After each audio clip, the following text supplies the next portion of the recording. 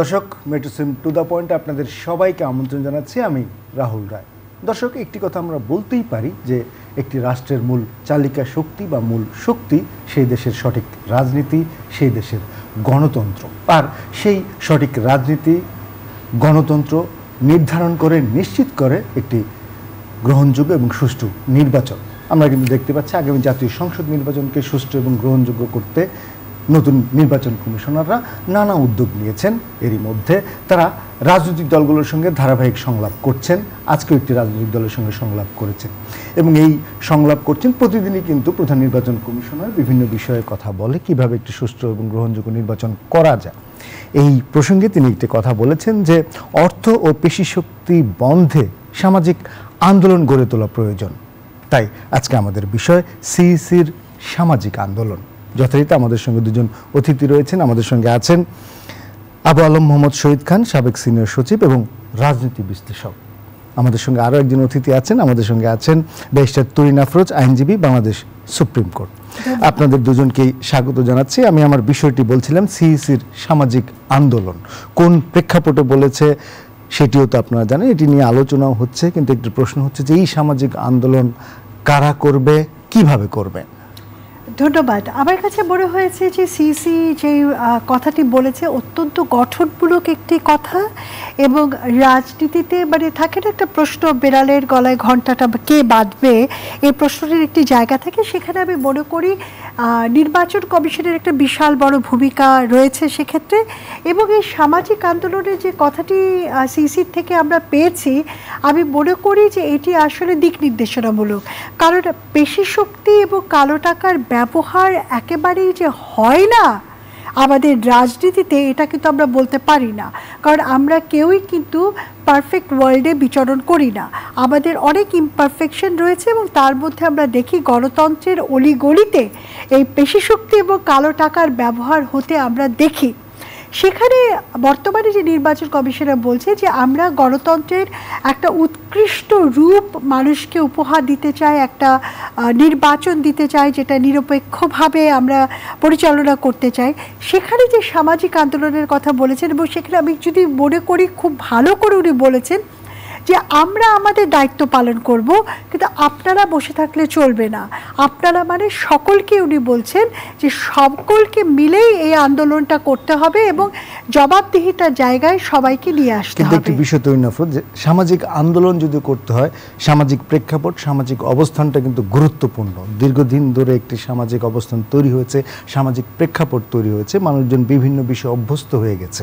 সেই ক্ষেত্রে এই সামাজিক আন্দোলন গড়ে তোলাটা কীভাবে করবেন এবং মানুষজনের সেই অবস্থানটা আছে কিনা? মানুষজনের তো সাড়া দিতে হবে। সেই সাড়াটা পাওয়ার জন্য কি করতে হবে? রাহুল আপনি যেভাবে বলছেন যে অ্যাজ ইফ আমাদের এই সিস্টেমের ভেতরে আমরা কেউ জানি না কালো টাকার ব্যবহার হয় আমরা কেউ জানি না এখানটাতে বেশি শক্তির ব্যবহার হয়। ইতিমধ্যেই কিন্তু রাজনৈতিক দলগুলো একে অপরের বিরুদ্ধে তো বটেই। এবং একই রাজনৈতিক দলের ভেতরেও কিন্তু একটি আভ্যন্তরীণ কোন্দল চলে। এখানটাতে একটা পাওয়ার ব্যালেন্স কাজ করে যেখানে অর্থ এবং পেশি শক্তির ব্যবহারটি হয়। এটা তো আমরা দেখি আসলে এটা যে এটা অস্বীকার করে নতুন কেন বলছেন? না আমি নতুন বলছি না আমি বলছি যে আমাদের সেই সামাজিক অবস্থানটা আছে কিনা। না নিশ্চয়ই লোকজনকে কীভাবে, সজাগ করতে হবে। কোনো না কোনো সময় তো আমাদেরকে এগিয়ে আসতে হবে। আজকে না হয় ওনার মুখ থেকে আমরা এটা শুনছি। কিন্তু আমরা ইতিমধ্যে তো দেখছি যে তৃণমূল পর্যায়ে কিন্তু আগের একটি সময় থেকে এখন কিন্তু অনেক বেশি জবাবদিহিতার জায়গায় চলে গেছে। আজকে গণমাধ্যমের কল্যাণে বলেন, সোশ্যাল মিডিয়ার কল্যাণে বলেন, কোনোখানে একটা অপ্রীতিকর ঘটনা ঘটলেই রাজনৈতিক জবাবদিহিতার জায়গা সেখানে তৈরি হচ্ছে।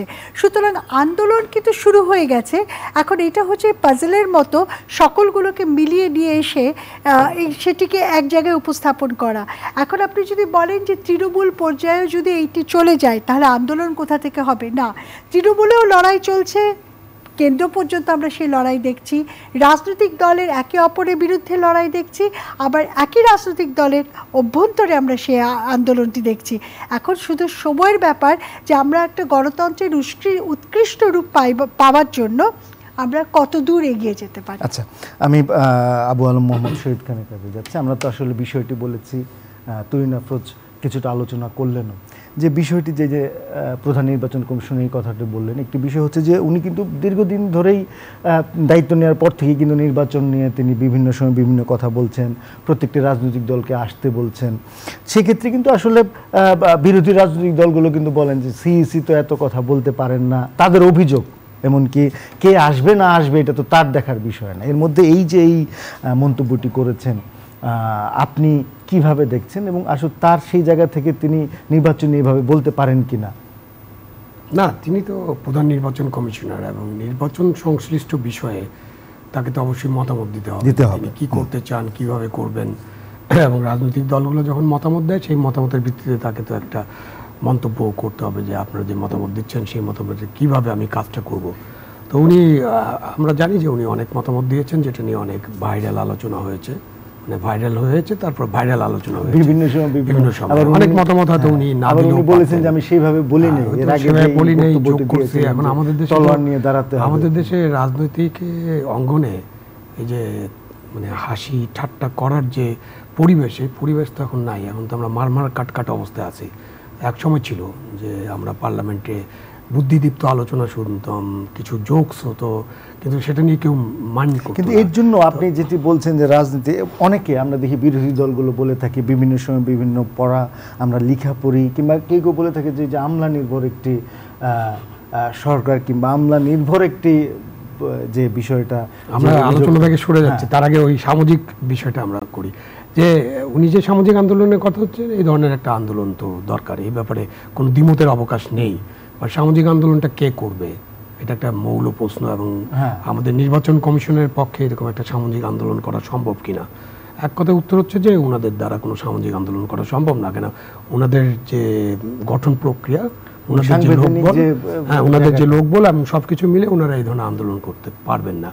এই আন্দোলনটা কি হবে? এটাকে সামাজিক আন্দোলন না বলে আমরা যদি যে রাজনৈতিক অপসংস্কৃতির ফাঁদে যে রাজনৈতিক দলগুলো হাবুডুবু খাচ্ছে হ্যাঁ একেবারে নদীতে পড়ে হাবুডুবু খাওয়ার মতো।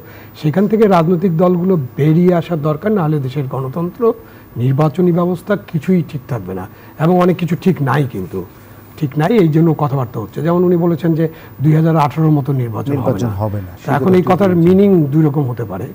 তারপরে আবার উনি সাথে সাথে বলছেন দুই হাজার আঠেরো নির্বাচন উনি দেখেন নাই এই বিষয়ে কিছু জানেনও না। তাহলে আগের সেন্টেন্সটা আপনি বললেন কেন? আপনি দেখবেন না জানবেন না শুনেন নাই তাহলে তো আপনি বলতে পারেন না। সেখানে আর এটার মিনিং হবে যে দুই হাজার আঠারো নির্বাচন নিশ্চয়ই কিছু কিছু প্রশ্নের উদ্রেক করেছে। কারও কারও কাছে বড় প্রশ্ন কারও কারও কাছে ছোট ছোট প্রশ্ন।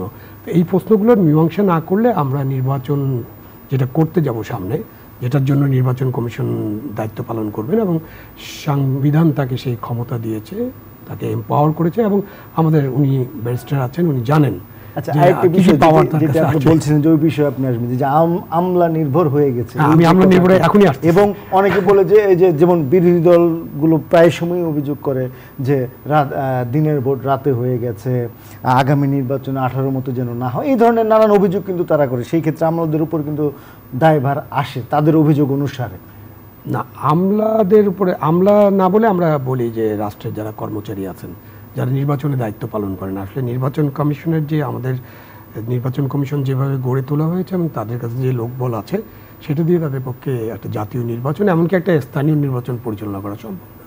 সেইখানে আপনার ধরেন যে, একেবারে তৃণমূল পর্যায়ে যখন নির্বাচনটা হয়, তো আমাদের অনেক মানুষ দরকার হয়। দশ থেকে বারো লোক মানুষকে ইনভলভ করতে হয়। তারা অবশ্যই দায়িত্বশীল মানুষ কেউ শিক্ষক কেউ ব্যাংকে চাকরি করেন কেউ প্রশাসনে চাকরি করেন কেউ পুলিশ বিভাগে চাকরি করেন আনসারে চাকরি করেন।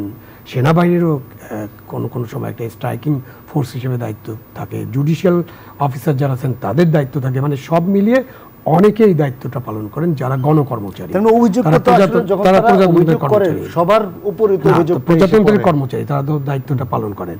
এখন প্রজাতন্ত্রের কর্মচারীরা তাদের দায়িত্ব যদি ঠিকমতো পালন না করতে পারেন বা ঠিকমতো পালন না করেন আপনার অভিযোগটা হলো যে ওনারা পালন করেন না। আবার ওনারা পালন করতে পারেন কিনা সেটাও একটা এটা তো আসলে মানে আসলে প্রিজাইডিং অফিসারকে দায়িত্ব দেওয়া হলো স্টেট প্রিজাইডিং অফিসার আছে পোলিং অফিসার আছে ওখানে কয়েকজন মানে প্রত্যেকের দুইজন করে। দায়িত্বপ্রাপ্তরা তো থাকে তো ওরা আছেন। এখন আপনি ভোটাররা ভোট দিতে গেল এক পক্ষ তাদেরকে দৌড়ে তাড়িয়ে দিল। অথবা আপনি ইভিএম মেশিন ব্যবহার করছেন ওখানে একজন মানুষ দাঁড়িয়ে সময় আপনার- ভোট তো সবকিছু হয়ে গেছে আপনার আমি এখন মেশিনের বাটনটা আমি টিপে দেবো। তো এইসব করার করতে পারার যে সক্ষমতা সেই সক্ষমতা কেবলমাত্র রাজনৈতিক দলের আছে। রাজনৈতিক দলের মাঝে মাঝে কর্মীদের আছে। এই অভিযোগ গেছে এটা যে কেউ গিয়ে বলছে তার ভোট হয়ে গেছে। এমন ওই তো অভিযোগ এসেছে। সেটাই আমি বলছি। এগুলো কীভাবে এটা রাজনৈতিক দলের কর্মীদের পক্ষে নেতাদের পক্ষে রাজনৈতিক রাজনৈতিক? ক্যাডারদের পক্ষে এগুলো করা সম্ভব। এগুলো কিন্তু কোনো আমলা বা কিন্তু তারা তো কর্মচারী বা দায়িত্বপ্রাপ্ত কেরানি থাকেন। তারা থাকতে কি ধরনের ঘটনা ঘটতে পারে? হ্যাঁ, ঘটা উচিত? অবশ্যই ঘটতে পারে। ঘটতে পারবে না কেন? আপনি রিয়েলিস্টিক হন। আপনাকে যদি দায়িত্ব দেওয়া হয় তখন আপনি কিন্তু বুঝতে পারবেন কেমন মজা লাগে। কারণ আমরা এই দায়িত্বটা পালন করে আসছি। আমি একটা কেন্দ্র ধরেন একটা এই কেন্দ্রে আমি দায়িত্ব আপনার তো অভিজ্ঞতা প্রিজাইডিং অফিসার আমি ওকে আমার দুজন অ্যাসিস্ট্যান্ট প্রিজাইডিং অফিসার আছে। আমার চারটা বুথ যদি থাকে আমার আটজন পোলিং অফিসার আছে। ঠিক আছে? এই হলো আমার লোকবল। আর একটা পুলিশের সাব ইন্সপেক্টরের আন্ডারে দশ বারোটা পুলিশ আছে কয়েকটা আনসার আছে। আর ভোট ভোটার আছে চার হাজার। তা আপনি চার হাজার মানুষ যদি আইন মানতে না চায় চার হাজার মানুষের যদি আইনের প্রতি শ্রদ্ধাশীল না হয় অথবা এই চার হাজার মানুষের কিছু মানুষ সংখ্যাগরিষ্ঠ মানুষকে যদি কেউ উত্তেজিত করতে পারে কোনো রাজনৈতিক দল যদি তাদের ক্যাডারদের নিয়ে লাঠি সোটা পিস্তল বন্দুক যে রাইফেল তলোয়ারের কথা হয়েছে এগুলো তো সত্যি ঘটনা আমরা লক্ষ্য করেছি। তো তখন আমাদের এই বেচারা প্রিজাইডিং অফিসার সে যেই হোক আপনি বসলে বেস্ট তুই না বসলে আমি বসলেও আমার পক্ষে কি ওখানে ভোট সুষ্ঠু করা সম্ভব? সম্ভব না। মানে প্রথমে মানে আপনি না। বলছেন এই ধরনের প্রথমে সম্ভব না, প্রথমে সম্ভব না। কিন্তু এরপরে নির্বাচন কমিশন অনেক দায়িত্ব আছে। যদি এই ধরনের ঘটনা ঘটে, তাহলে ওই কেন্দ্রের নির্বাচন বাতিল হতে পারে। যদি কেউ আইন না মানে তাহলে নির্বাচনটা বন্ধ করে দেওয়া যেতে পারে। এমনকি জাতীয় সংসদের নির্বাচনও বন্ধ করে দিতে পারে। কিন্তু আমাদের দেশে, আমাদের অভিজ্ঞতা হচ্ছে, আমাদের নির্বাচন কমিশন কখনো সাহস করে এই যে একটা খারাপ নির্বাচন ব্যবস্থা, মনে করেন জেনারেল এরশাদ সাহেবের সময় অনেক ভোট হচ্ছে যেখানে কোনো ভোটার যায়নি। আমরা এরকম ভোটারবিহীন নির্বাচন দেখেছি। কিন্তু আমাদের নির্বাচন কমিশন তো বলে নেই যে, ভাই, এই ভোটারবিহীন নির্বাচন আমি অ্যাকসেপ্ট করব না। সেটা তো নির্বাচন কমিশন করতে পারে। নির্বাচন কমিশন কিন্তু কি কি করতে পারে এটা নির্বাচন কমিশন জানে। আচ্ছা আমরা আবার একটু বেশটা তুইন আফরোজের কাছে যাই। আসলে তো আলোচনা হচ্ছে যে এখানে কিন্তু আইনি একটু আইনি বিষয়গুলোও কিন্তু থাকছে কারণ তখন আইন শৃঙ্খলা বাহিনীরও একটা ভূমিকা থাকে যেন এই ধরনের ঘটনা না ঘটে। আর আরেকটি বিষয় উনি সামাজিক আন্দোলনের কথা বলেছেন এবং আপনি তো বললেনই যে আসলে উনি সামাজিক আন্দোলন করতে পারবেন না এটা আসলে সমাজে যারা আছেন তাদের করতে হবে। কিন্তু এক কিন্তু একটি বিষয় আছে যে যেহেতু তার তো একটা সাংবিধানিক ক্ষমতা কিন্তু থাকে, নির্বাচন কমিশনারদের। তারা সেই ক্ষেত্রে তারা যদি আরেকটু সাহসী হয়ে কিংবা সেই দায়িত্বটা যদি পালন করে, সেই ক্ষেত্রে কি এই এই ধরনের ঘটনাগুলো এড়ানো সম্ভব? আচ্ছা সাহসিকতা যে প্রশ্নটি ভাইয়া যেটি মানে এক্সাম্পল দিলেন এটা বিশিষ্ট জন হ্যাঁ, অনেকে বলে থাকেন। অনেকে বলেন এবং যে এক্সাম্পলটা দিলেন একদম মানে রিয়েল লাইফ এক্সপিরিয়েন্স থেকেই বলছেন উনি যে এই ধরনের অভিজ্ঞতা যে এরকম একটা সিচুয়েশনে কি করতে পারেন একজন প্রিজাইডিং অফিসার বা কি করতে পারে? এখন আমি যেটা মনে করি সেটা হচ্ছে নির্বাচন কমিশন প্রতিষ্ঠান হিসেবে তো দাঁড়াতে সময় লাগে একদিনই তো হয় না আস্তে আস্তে আস্তে আস্তে করে এগিয়ে এগিয়ে এসছে। আজকে এমন একটা সময় ছিল নির্বাচন কমিশন কে এক্সিস্ট করে এটা কেউ জানেও না আর কি। কে নির্বাচন কিন্তু আমরা যদি দেখি আপনি বলছেন যে দাঁড়াবে কিন্তু এখন তো আরও দেখা গেল রাজনৈতিক দলগুলো আরও বেশি বিপরীত মেরুতে অবস্থান করছেন। না সেটা মেরুতে অবস্থান করছে সেই জন্যই তো সংলাপ চলছে। সেই জন্য কিন্তু সংলাপে তো যে যাদের যাদের মূল দাবি তারা বলছে যে বিএনপি বলছে যে এই নির্দলীয় সরকার ছাড়া নির্বাচনে যাবেন এবং তারা কিন্তু এই নির্বাচন কমিশনের গঠন প্রক্রিয়া থেকে শুরু করে তাদের কোনো সংলাপেও যায়নি। তাহলে সেই ক্ষেত্রে কি এটা ফলপ্রসূ হবে কিনা? না না সেক্ষেত্রে আমি একটা হিসাব দিচ্ছি। সেটা হচ্ছে যে খুব আইনগতভাবে আপনি যদি চিন্তা করেন নির্বাচনে অংশগ্রহণ করা যেমন একটি গণতান্ত্রিক অধিকার নির্বাচন থেকে বিরত থাকাও তো একটা গণতান্ত্রিক অধিকার হ্যাঁ। এখন নির্বাচন কমিশন যতই চেষ্টা করুক দিনের শেষে কেউ যদি বলে তালগাছ আমার এবং আমি নির্বাচনে যাব না তার গলায় শাসি দিয়ে তো টেনে তাকে নির্বাচনে নিয়ে যাওয়া যায় না আবার এই প্রধান নির্বাচন কমিশনার বলছে যে একটা গ্রহণযোগ্য নির্বাচন করতে হলে করতে হবে। বিএনপি কে আসতে হবে কিংবা তারা আসলে গ্রহণযোগ্য হবে মানে ওই যে খেলার মতো অফসাইটে যে আমি সব খেলোয়াড় একদিকে দাঁড়িয়ে যাব, ওখানটাতে কোনো খেলা হবে না। এরকম উদ্দেশ্য নিয়ে গেলে নির্বাচন কমিশন কেন? খোদ মানে একেবারে ঈশ্বর নেমে আসলেও এখানে নির্বাচন করে আমাদেরকে উপহার দিতে পারবে না। এখন আমাদের প্রশ্ন হচ্ছে যে, যারা গণতন্ত্রকে বানচাল করবার চেষ্টা করছে, যে আমি যতক্ষণ বলছি যতক্ষণ না এটা হবে ততক্ষণ না পর্যন্ত আমি নির্বাচনে যাব না। এরকম যদি একটা মনোবল নিয়ে মানে সে আগেকার দিনে রাজি রানীরা যেমন গোস্বা ঘরে যেয়ে বসে থাকতেন সেরকম যদি অবস্থায় কোনো রাজনৈতিক দল চলে যায় এখন তাদেরকে কি আইন করে আপনি রাজনৈতিক দলকে নিয়ে আসবেন নির্বাচন করাতে? তা কিন্তু করা যায় না। কিন্তু সেটা কি এই- সামাজিক আন্দোলন যদি গড়ে তোলে তাতেও কি লাভবান হবে? যদি রাজনৈতিক দলগুলো এই বিষয়গুলো বুঝতে না পারে সামাজিক আন্দোলনের ব্যাপারটা হচ্ছে যে সামাজিক আন্দোলন কিন্তু নট নেসেসারিলি নির্বা মানে রাজনৈতিক দলগুলোই করছে। সামাজিক আন্দোলন হচ্ছে পিপল সাপোর্ট যে পিপল সাপোর্ট যখন জনগণ একসাথে আন্দোলন একসাথে হবে সেই জনগণের ক্ষমতা কিন্তু আমরা দেখেছি। আমরা শরীর শাসকের পতন দেখেছি তারও আগে আমরা উনসত্তরে গণ অভ্যুত্থান দেখেছি আমাদের পুরো মুক্তিযুদ্ধ দেখেছি জনগণের পাওয়ার এটাই হচ্ছে জনগণের শক্তি। আন্দোলনটা সেই জায়গাটাতে নিতে হবে। এখন আমার দেশের লোকরা সেটার জন্য প্রস্তুত আছে কিনা? নাকি তারা এরকম করে থাকতেই হ্যাঁ, এটাই তো আসলে বার্নিং কোয়েশ্চেন যে আমি সেটাই সেটাই বলছিলাম। রাহুল যে অনেক সময় আমরা দেখি নির্বাচনে মাত্র টোয়েন্টি টু বা টোয়েন্টি থ্রি পার্সেন্ট ভোটার দিয়ে জিতে একজনের আসন অলঙ্কৃত করছেন। তার মানে হচ্ছে অলমোস্ট এইট্টি পার্সেন্ট লোক তার বিরুদ্ধে রয়েছে। কিন্তু গণতন্ত্রের যে বিউটি সেই বিউটিতে তো আমাকে সেটা মেনে নিতে হচ্ছে।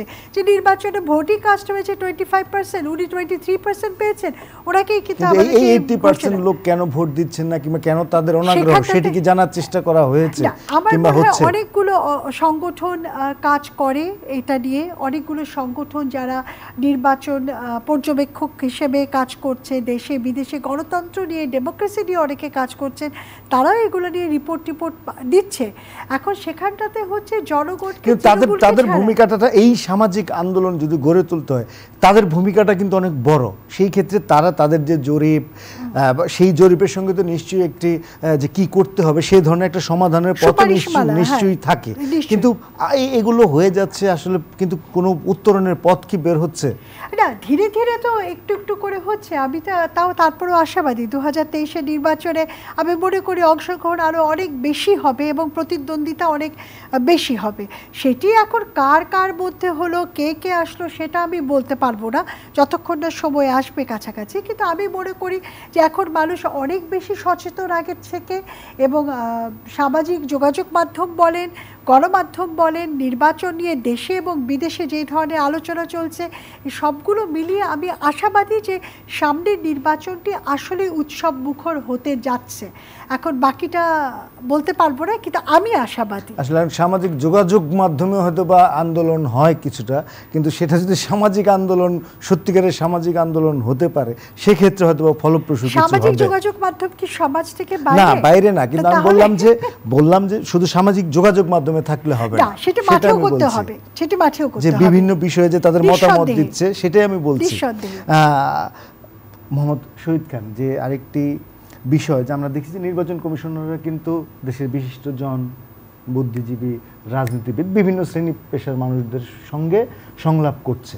কিন্তু উনি নিজেই যেহেতু বলেছেন যে এই উত্তরণের জন্য সামাজিক আন্দোলনের প্রয়োজন সেই ক্ষেত্রে এই যে এনজিওগুলো যারা কাজ করছে বিভিন্ন সময় বিভিন্ন জরিপ দিচ্ছে হ্যাঁ, নির্বাচন নিয়ে ফেমা প্রতি এই ধরনের যারা এনজিওগুলো রয়েছে তাদের সঙ্গে কি এই সংলাপ করা উচিত কিনা?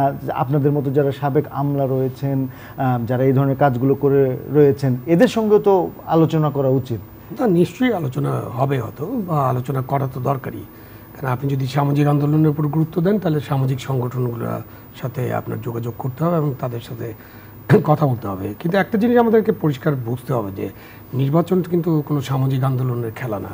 নির্বাচন হচ্ছে রাজনৈতিক দলগুলোর মতো একটা খেলা এবং সেখানে সবাইকে অংশগ্রহণ করতে হবে এবং রাজনৈতিক দলগুলোকে ঠিক করতে হবে। আমি খুব দুঃখের সাথে বলতে চাই যে, আমরা যখন স্বৈরাচারের পতন দেখলাম উনিশশো নব্বই সালে, সেই স্বৈরাচারের পতনের পরে আমাদের একটা তিন জোটের রূপরেখা ছিল এবং সেখানে কিন্তু মোটামুটি ক্লিয়ারলি বলা ছিল যে, এই তিন জোটের রূপরেখা অনুসরণ করে আমরা দেশের গণতন্ত্রকে শক্তিশালী করব।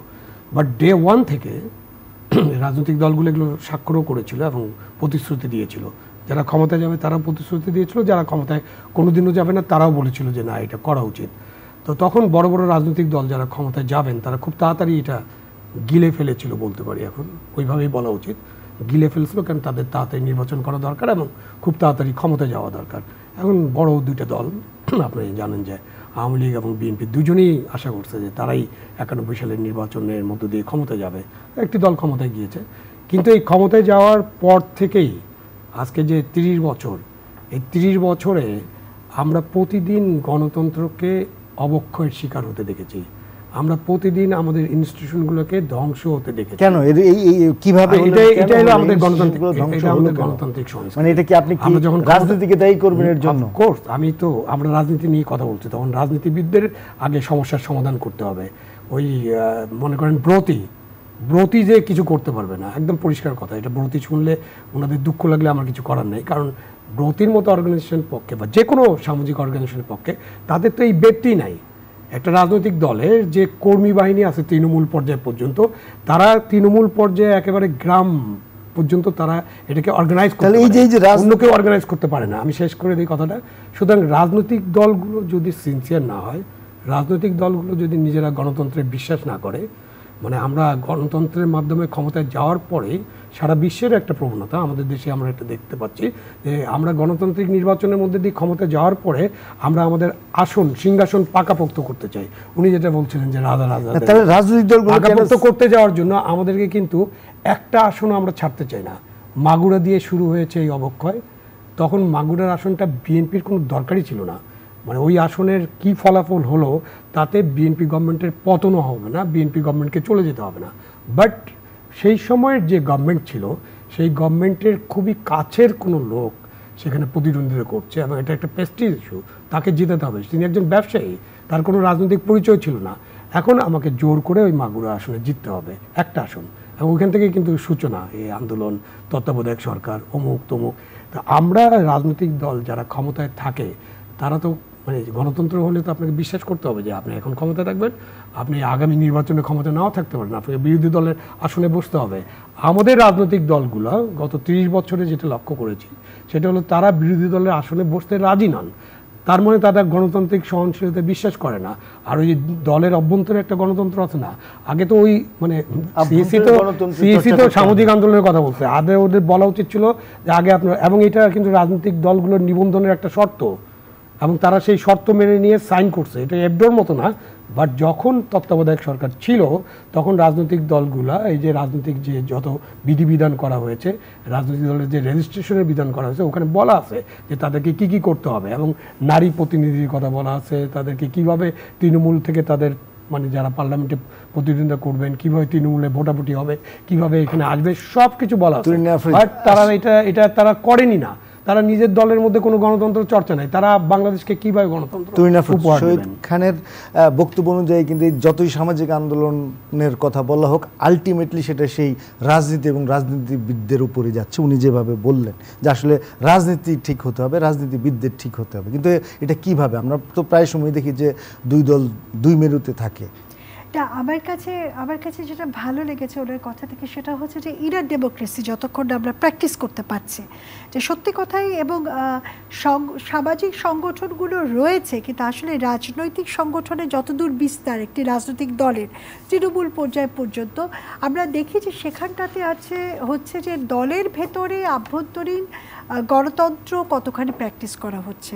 আমাদের এই রাজনৈতিক কালচার বা কৃষ্টি যেটা রয়েছে, সেই কৃষ্টির ভেতরে আমরা এটা প্র্যাকটিস হতে কম দেখি।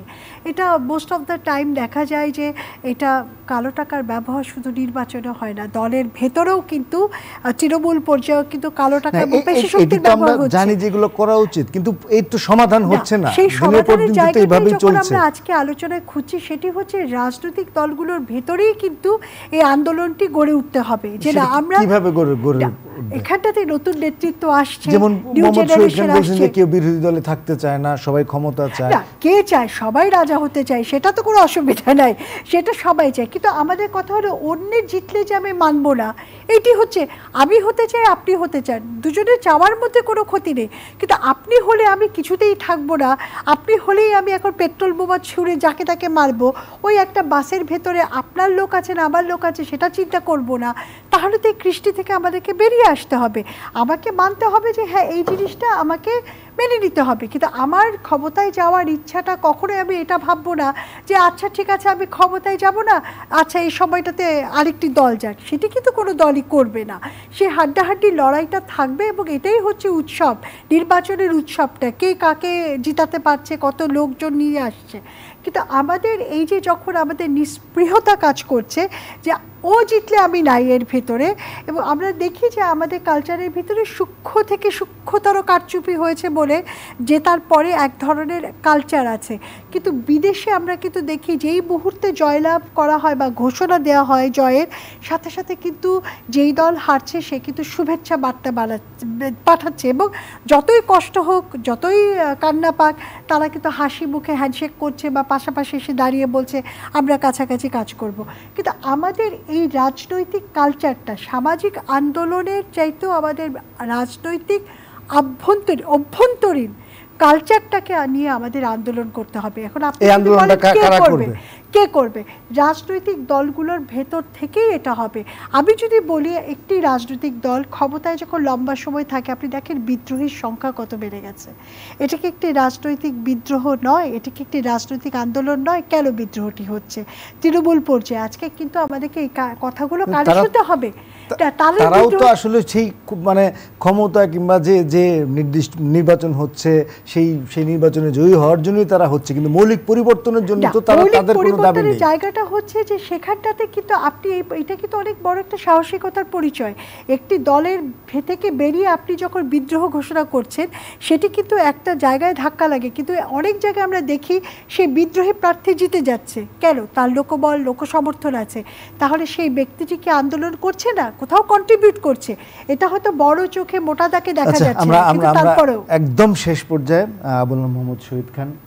আপনি কি বলবেন? আসলে আপনি তো বলেছেনই যা আগে রাজনীতি রাজনৈতিক দলগুলোকে? রাজনৈতিক দল ঠিক করতে হবে। এটা আমি আমরা আলোচনা করে ঠিক করতে পারব না কোনো এনজিও যে ঠিক করতে পারবে না। এনজিও ইজ এনজিও তাদের কাজ একটা আলাদা। তাদের কাজ রাজনীতি করে না। তারা অন্য কাজ নিয়ে ব্যস্ত আছে। শুধু তারা কিছু সামাজিক আন্দোলনও করতে পারে, সচেতনতা সৃষ্টি করতে পারে বাট রাজনৈতিক দলের নেতারা যারা আছেন, রাজনৈতিক দলটা করা হয় কেন? যদি গণতন্ত্র তাদের উদ্দেশ্য হয়, নিশ্চয়ই ফেসিবাদ কারও উদ্দেশ্য না, যে আমরা গণতন্ত্রের কথা বলি, তো সেই কারণে রাজনৈতিক দলগুলো নিজেরাই ঠিক করতে হবে, নিজেরা কীভাবে গণতন্ত্র চর্চা করবে। মনে করেন একটা নির্বাচন, আমি তুহিন আফরোজের কথা যদি বলি যে কাউকে তো জোর করে নির্বাচনে আনা যাবে না, খুব ভালো কথা জোর করে আমি নির্বাচনে আনতে চাই না। বাট যে নির্বাচনটা হবে সেই নির্বাচনটা অর্থবহ হতে হবে। উনি আসেন খুব ভালো কথা। কিন্তু যারা যারা নির্বাচনে প্রতিদ্বন্দ্বিতা করতেছে বাকি ক্যান্ডিডেটরা যেন ফিল না করে যে আমি তো লেভেল প্লেইং ফিল্ড পারলাম না। আমি মার্কার নিয়ে আলোচনা করতেছি না। মনে করেন একটা নির্দিষ্ট এমপি নির্বাচনে পাঁচজন প্রার্থী আছে। ওই পাঁচজন আর একজন বড় প্রার্থী বড় দলের প্রার্থী আসলো না। বাট ওই পাঁচজন যে নির্বাচন করছে তারা তো লেভেল প্লেইং তাদের জন্য কোনো অভিযোগ সেখানে তো কোনো অভিযোগ না থাকার কথা। কিন্তু আমরা কি দেখি? আমরা একটা বড় দল নির্বাচনে অংশগ্রহণ না করার পরেও আচ্ছা, আমরা একদম হ্যাঁ না করার পরে আমরা দেখি যে ওই নির্বাচনী ওই লেভেল প্লেইং ফিল্ডটা ওখানেই থাকে না। সুতরাং এটা একটা সমস্যা। আপনাদেরকে অনেক ধন্যবাদ। দর্শক আমাদের সঙ্গে থাকার জন্য অনেক ধন্যবাদ সবাই। আর এই যে আলোচনায় আসলে ঘুরে ফিরে সেই কথাগুলোই আসলো যেটি হচ্ছে যে যতই সামাজিক আন্দোলন গড়ে তোলা হোক আসলে রাজনৈতিক দলগুলোকে পরিবর্তন হতে হবে এবং তাদের দলের ভেতর থেকে যদি পরিবর্তন না হয়, দলের ভেতর থেকে যদি আন্দোলন না আসে, সেই ক্ষেত্রে আসলে এ ধরনের পরিবর্তন এই ধরনের আন্দোলন সম্ভব না। সুস্থ থাকবেন।